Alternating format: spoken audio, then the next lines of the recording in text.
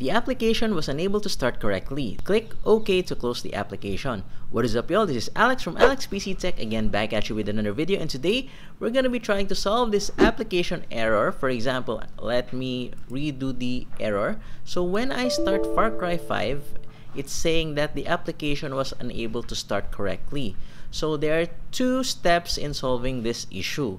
So one is what we're going to be doing is we're going to type into the search here or if you're using Windows 10 or Windows 11 you're gonna need to search for CMD okay? And then on the command prompt we need to run it as administrator okay? So after running it as administrator you can see that our directory is on the default C Windows System32 and then we would need to type in sfc space forward slash and then scan now. Okay so sfc space forward slash scan now where scan now is one word.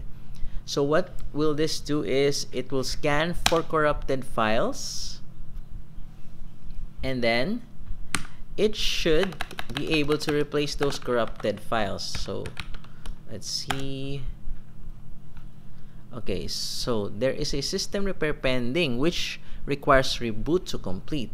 So as you can see, I might have some corrupted files. That's why the application isn't starting correctly. So I would need to reboot and run this command again. We'll get back to you after we reboot. Now that we have restarted our system, let's try if the problem still persists. So I'm going to be running Far Cry 5. So as you can see, the application was still unable to start correctly. So what we're going to do again is to run cmd, right click on it and click run as administrator so that we will be on the default directory C Windows System 32 and we're gonna be entering again S F C space forward slash scan now. So as you can see it's running the scan. So what it's doing is it's checking for corrupted system files and is going to replace it with the ones that are saved on Windows cache. So let's wait for this to finish and we will again try to open the application. Okay now that the scan is in is complete, it is saying that Windows Resource Protection did not find any integrity violations. So we're gonna try to open the application again. So still, the problem still persists. So what we're gonna do right now is we're gonna be trying to search for run. So run, and then this is the second step. We are going to open regedit. Okay, so this is the registry editor. Yes okay? So as you can see uh, this is my registry. So what we're gonna be doing let me just maximize it out.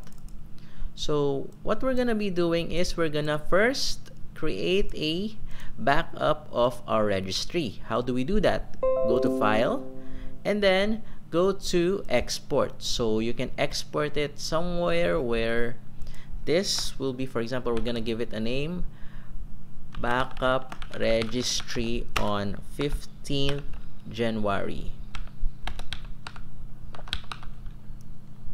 So for example, we're gonna do this.